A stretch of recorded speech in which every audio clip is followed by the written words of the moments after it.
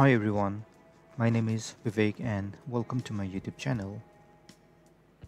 This is the fifth episode to add custom jQuery components in existing fitness website. In the previous episode, we work on this tab and today we'll work on this go to top button. First of all, let's check the markup for the go to top button. So you can use this developer tool and you can see we got the anchor tag for this go to top button and if you check the CSS we have used display none to hide them. Now we have to do two things. The first one is if we scroll down we have to show or hide this button. In that case we have to use jQuery scroll method. And the second one is we have to add click event in this button so that whenever it is clicked it can go to the top of the page. Now let's get started. So open your main.js and then the first thing is you can add this scroll method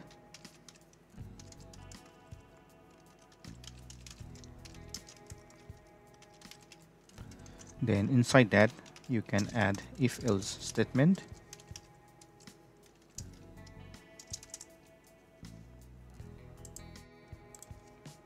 and you can add the condition over here saying dollar this dot scroll top greater than 200 so when the value of scroll top is greater than 200 we have to show the button. So let's get the id of the button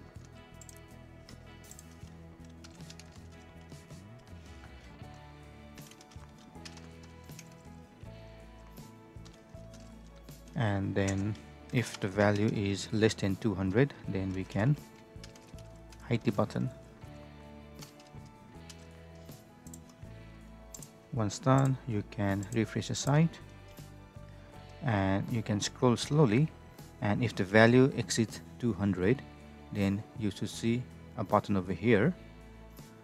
But if you scroll up and if the value is less than 200 then it gets hidden again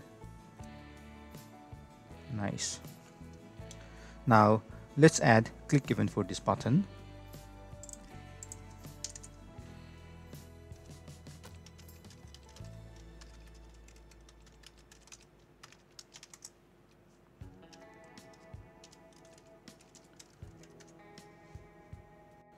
Now, whenever you click on this go to top button, we have to go all the way to the top of the page.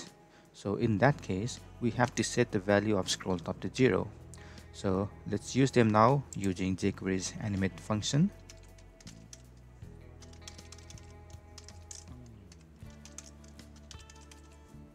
So the value of scroll top should be 0. And here we can add HTML and body so if you want some slow animation then you can add slow over here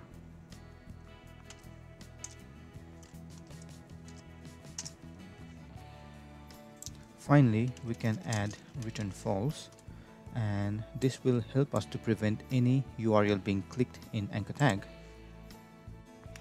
now refresh the site and if you click on this go to top button it is working.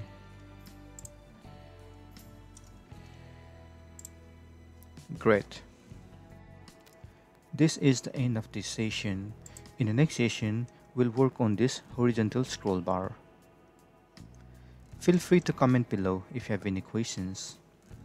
Also please don't forget to like, share and subscribe to my channel to get more tutorials in the future. Thank you.